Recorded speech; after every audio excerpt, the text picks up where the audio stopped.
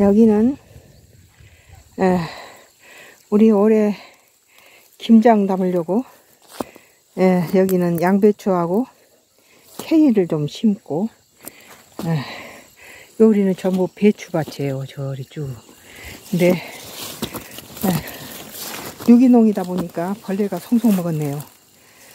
배추는 잘 됐는데 에, 농약을 치지 않으니까 음, 올 김장은 우리는 한 15폭에서 20폭이면 되는데 벌레가 너무 모기장처럼 먹었네요. 아, 아이고 엄청 벌레가 먹어버렸어요. 아, 그래도 이제 이 이파리 떨어지고 나서 속에 있는 것에다 거름을 주면 좀 다시 살아날 수도 있어요.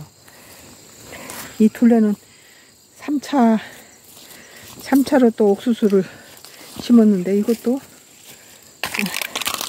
옥수수를 뒤늦게 세 번째 심은 옥수수가 또 파랗게 자라고 있네요.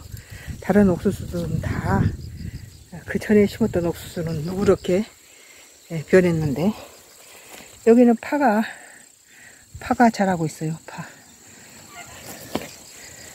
이 파가 자라서 김장할 때 예, 겨울 내내 또 사용할 수 있겠죠.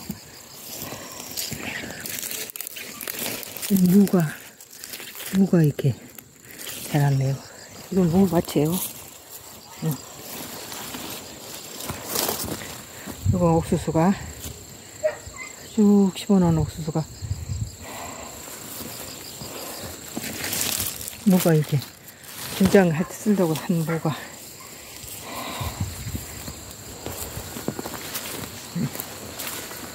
그래도 10월, 11월쯤 옥수수가 또 열릴 것 같아요. 이건 케일이에요. 벌써 벌레가 와서 먼저 한번 훑고 갔지만 이건 케일을 주스로 갈아 먹으면 여기는 당근이네요. 당근씨 뿌려놓은 게 낫어요. 당근씨는 봄보다 이렇게 가을에 뿌려야 제대로 성장이 됩니다. 그래도 이만한 것도 다행이에요. 이것들은 이제 다 벌레가 먹은 다음에 밑둥에서 다시 또 새순이 돋을 거예요. 김장은 저 정도면은 그냥 어, 15포기는 능히 건질 수 있을 것 같아요. 아. 고구마밭, 가지밭